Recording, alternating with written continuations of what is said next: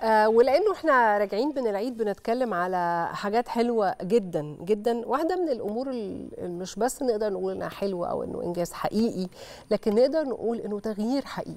دايما إحنا بنصنف أي تغيير إنه ممكن أغير في الفكرة أغير في الشكل.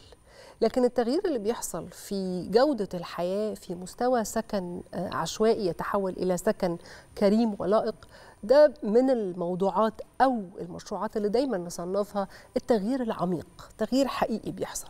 واحدة من المشروعات دي كان مشروع روضة السيدة ولو فاكرين المرحلة الأولى تم إطلاقها لكن مشروع روضة السيدة واحد من المشروعات الكبرى. يعني ما نقدرش نسميه مشروع صغير مهما قلنا إنه في قصاده مشروعات كبيرة أضخم منه لتسكين الناس.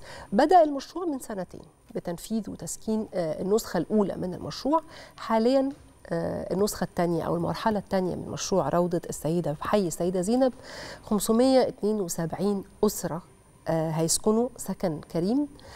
زي ما أنتم شايفين كده في الصورة ملاصق تماما للمرحلة الأولى من المشروع اللي إحنا شفناها واللي أعتقد إنه كمان الناس اتسكنت فيها لو أنا فاهمة صح. لكن نعرف تفاصيل أكتر من المهندس خالد صديق رئيس جهاز التنمية الحضرية. مهندس خالد مساءك خير وكل سنة وحضرتك بألف بألف خير. مساء الخير وكل سنة وحضرتك كلكم طيبين مهندس خالد مشروع روضة سيدة معلومتنا صحيحة أنه المرحلة الأولى الأهالي سكنوا خلاص ولا هيتم التسكين للمرحلتين مع بعض؟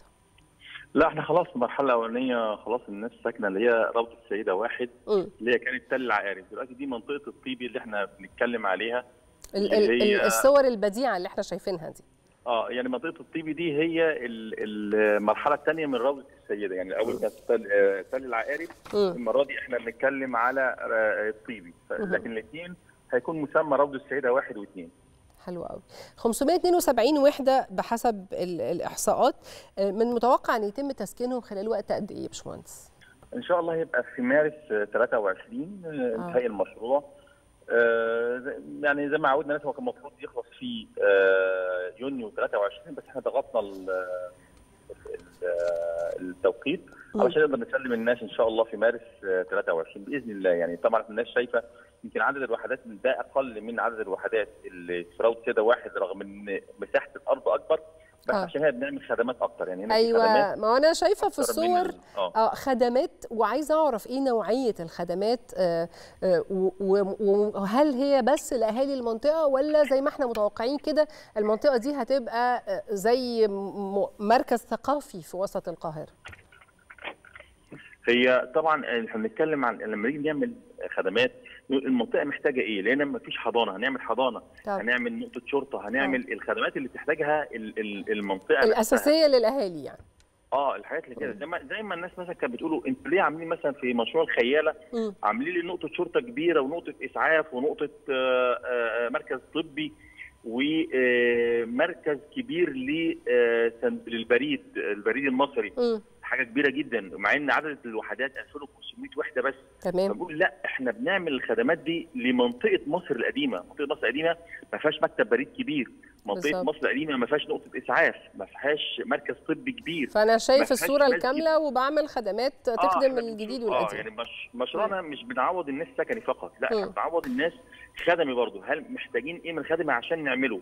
مش مهم التكاليف والمصاريف كام هتبقى كام على المشروع نفسه. المهم إزاي نكمل المجتمع اللي حوالينا كله من خدماته اللي محتاجها. آه اللي إحنا فاهمينه انه مشروع روضة السيدة وتطويره هو مشروع هائل حجما يعني وتكلفة لكنه كمان جوه مظلة مشروع أكبر وهو تطوير القاهرة القديمة. المدى الزمني لأنه تنتهي هذه المشروعات كلها ونقدر نقول إنه القاهرة اللي نتمشى فيها برجلينا كده ونتحرك في أماكن كتير ممكن يبقى إمتى؟ إحنا حاطين رؤية لنفسنا 2030 رؤية 2030 دي إحنا إزاي نوصل بكل مصر مش القاهرة بس م. خالية من المناطق الغير آمنة والغير مخططة وكمان إحنا طورنا من نفسنا علينا من سقف طموحاتنا كان الأول اسمنا صندوق تطوير المناطق العشوائية. م. إحنا دلوقتي اسمنا صندوق التنمية الحضرية. اذا فسقف طموحاتنا أكبر بكتير من تطوير عشوائيات. آه أنا أنا أخدت بالي من الاسم دلوقتي. صح صح جدا. إحنا آه, آه إحنا دلوقتي بنتكلم في مرحلة تنميه التنمية دي سقفها سقفنا بالتنميه مفيش حدود خلاص. إحنا. بنعمل تطوير. إحنا شغالين دلوقتي في القاهرة التاريخية. القاهرة التاريخية عند منطقة الحسين منطقة باب زويله الحاكم درب اللبانة حارة الروم. كل دي حاجات إحنا بنطورها يمكن ناس كتير كانت بتحلم. بتحلم إزاي القاهرة الإسلامية دي نرجع زي زمان تبقى مزار سياحي. للسائح المصري والسائح الأجنبي عشان كده أنا فعلا بسأل حضرتك هو ينفع الزوار يروحوا روضة السيدة هيبقى في مراكز ثقافية في في المنطقة دي ولا لأ يعني ده حقيقي جزء من حلم كل المصريين أعتقد لأنه الأماكن دي إحنا مرتبطين بيها بشكل كبير إحنا يمكن كنا اتكلمنا قبل كده. وقلنا إن إحنا بنعمل زي ما كان العشوائيات فيروس بينتشر في جسد العمران المصري. لا إحنا التطوير والتنمية الحضاريه اللي بنعملها دلوقتي هو عبارة عن شعاع نور بينتشر ده حقيقي. هنعمل روضة مم. السيدة ومش هتبقى روضة سيدة واحدة هتبقى واحد واثنين وثلاثة وأربعة وخمسة جوه منطقة السيدة. قلنا إحنا بنبدأ في القاهرة من أول ما بنبدأ من عند اركيديا رملة بولاق عندنا في مثلث مسبيرو ميدان التحرير ميدان عبد المنعم رياض مشينا شوية دخلنا في القاهرة ال- الخديوية مشينا شوية دخلنا في السيدة زينب بروضاتها اللي إحنا بنعملها مشينا شوية بنعمل آه، آه، الخيالة مشينا شوية وبنعمل آه، سور مجرى العيون ومشينا شوية بنعمل حدائق الفسطاط وبعدين طبعا. بنعمل جوهرة. الفسطاط كل شوية في نقط كده إحنا حاطينها مش عشوائية لا ده نقط مدروسة قوي إزاي النقطة دي تشع حواليها تطوير شامل إزاي النقطه مثلا حدائق الفسطاط اللي هنعملها على 500 فدان. تعمل حاجة إشعاع حضاري وثقافي وترفيهي على 500 فدان لمصر كلها إزاي وهاخد من كلام حضرتك واه وأكد أو أختم بس في الجزء ده إنه آه، هو الحقيقة كده إنه المركز ال- ال- المنطقة اللي بتتطور هي بتنعكس على كل ما حولها تحديدا بالخدمات آه، اللي تم ذكرها. أنا بشكر حضرتك شكرا جزيلا مهندس خالد صديق رئيس جهاز التنميه الحضارية ومهندس خالد لفت نظرنا لحاجة جميلة جدا إنه كان زمان اسمها التنمية آه، تنمية المناطق العشوائية. ما بقاش عندنا الاسم ده مش عايزين نسمعه مش عايزين يكون موجود في بلدنا.